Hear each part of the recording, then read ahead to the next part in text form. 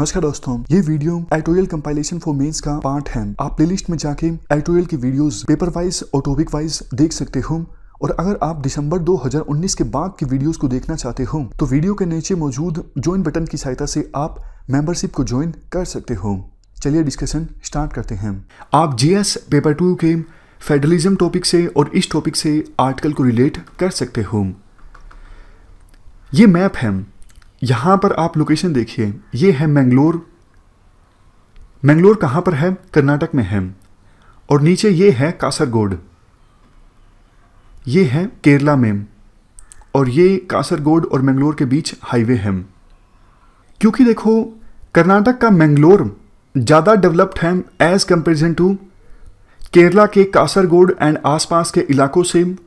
तो सामान्य दिनों में बहुत से लोग जाते हैं कासरगोड और आसपास के इलाकों से मैंगलोर में। मैंगलोर की लाइफ काफ़ी ज़्यादा वाइब्रेंट है। यहाँ पे घूमने की बहुत सारी चीज़ें हैं।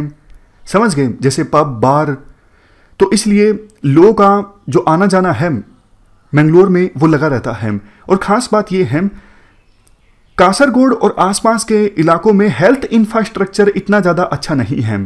तो लोग इलाज करवाने के लिए भी मैंगलोर में काफ़ी ज़्यादा जाते हैं। कासरगोड केरला के उन जिलों में से एक है, जहाँ पर बहुत से किसान प्रभावित हुए हैं। इंडोसल्फन की वजह से, इंडोसल्फन इंसेक्टिसाइड है।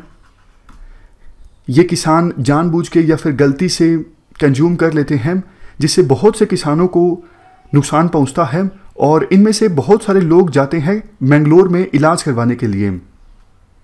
तो ये हमने बात की सामान्य दिनों की। अब क्या हुआ है? कासरगोड देखो, कोविड 19 का एक हॉटस्पॉट बन के इमर्ज हुआ है। यहाँ पे बहुत सारे केस सामने आए हैं कोविड 19 के। तो जैसे ही लॉकडाउन अनाउंस हुआ, उसके बाद कर्नाटक ने अपना बॉर्डर सील कर दिया। उन्होंने ये हाईवे बंद कर दिया। अब हाईवे बंद हो गया तो मतलब कासरगोड और आसपास के इलाकों से लोग जा नहीं सकते मैंगलोर में, खास करके इलाज करवाने के लिए। अब कोविड 19 के अलावा भी तो बहुत सारे डिज़ीज़ से लोग सफ़र करते हैं ना।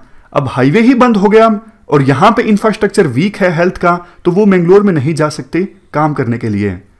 अब देखो, कर्नाटक सरकार का अपना व्यू है, कर्नाटक का कहना है बॉर्डर सील हमने इसलिए किया है क्योंकि कासरगोड एक कोविड 19 के हॉटस्पॉट बन के इमर्ज हुआ है और यहाँ से बहुत सारे लोग अगर आएँगे मैंगलोर में तो कोविड 19 के कर्नाटक में भी बहुत ज़्यादा फैलने का खतरा बन जाएगा।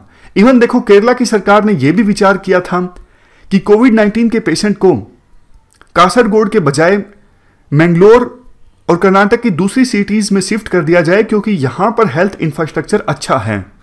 तो इस पर कर्नाटक का कहना है, देखो, अगर कोविड 19 के पेशेंट्स को अगर शिफ्ट किया जाता है तो हमें इतनी ज़्यादा आपत्ति नहीं है।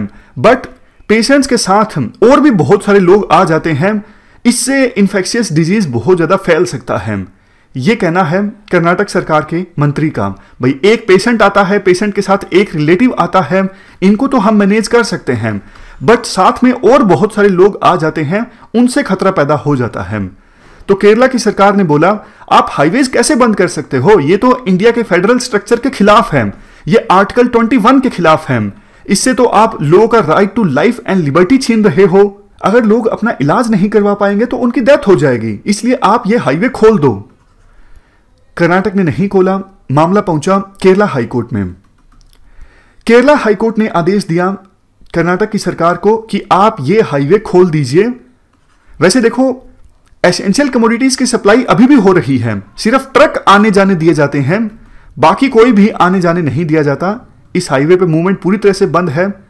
एसेंशियल कमोडिटीज के ट्रकों को छोड़कर।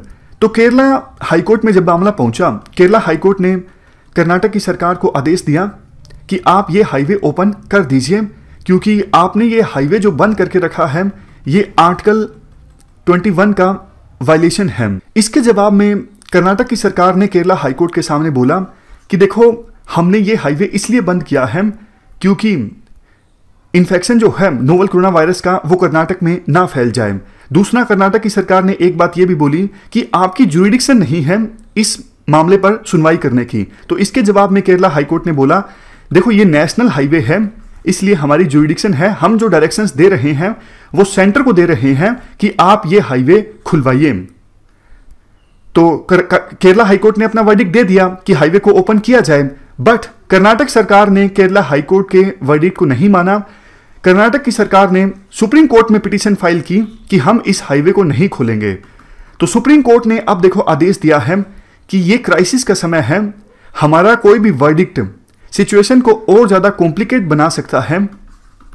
हम आदेश देते हैं सेंट्रल गवर्नमेंट को कि वो दोनों राज्य सरकारों के बीच इस डिस्प्यूट को सोल्व करवाएँ। ये देखो हमारे फेडरलिज्म की ब्यूटी है।